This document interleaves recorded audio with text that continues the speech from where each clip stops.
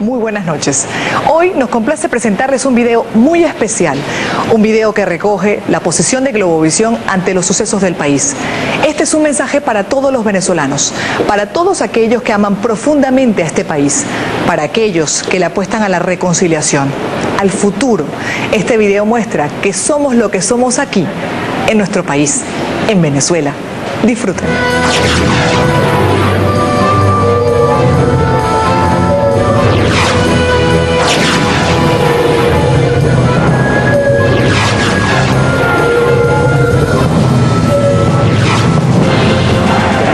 encuentro.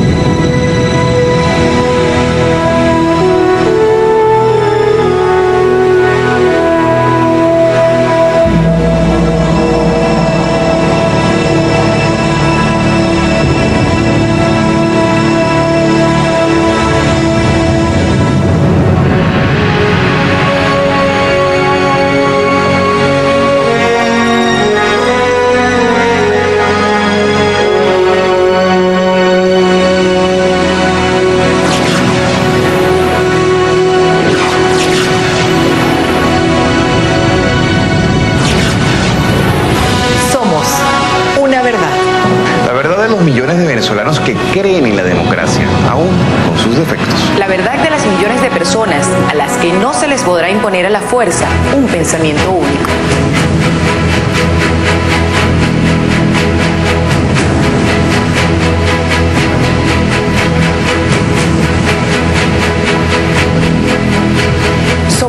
Sentimiento, una manera de actuar. Un ideal. Una forma auténtica y ética de ir por la vida. defendiendo los derechos de todos los venezolanos, independientemente de su ideología política y sus creencias. Y eso genera una fuerza, un gran poder. Aquel que al final vence y derrota todos los obstáculos. El poder de la verdad.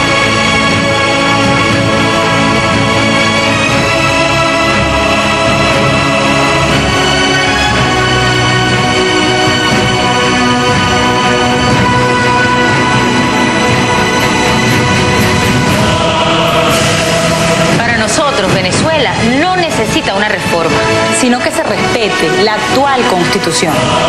Ese es el mensaje que hemos venido dando, apegados, como siempre, a la ley. Pero con o sin reforma, en el 2008, Globovisión dará lo mejor del periodismo. Te dará su sentido de verdad, su sentido de justicia.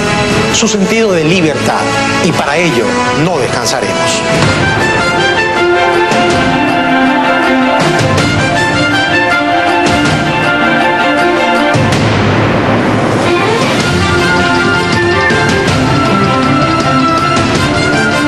Vienen tiempos difíciles. Pero las crisis, aunque generen temor, sirven para cancelar épocas y comenzar otras. más acertadas, más conscientes. Einstein lo dijo. En épocas de cambio, solo la imaginación es más fuerte que el conocimiento. Nadie sabe de lo que es capaz hasta que lo intenta. El pensamiento tiene un poder creador inmenso.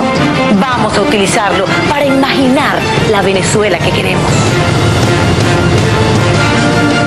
Si podemos imaginarla, podemos tenerla.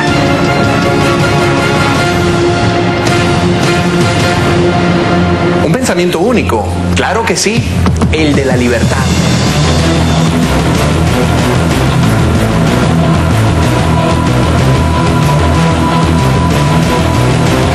Es el único pensamiento que debe regir la mente de los venezolanos.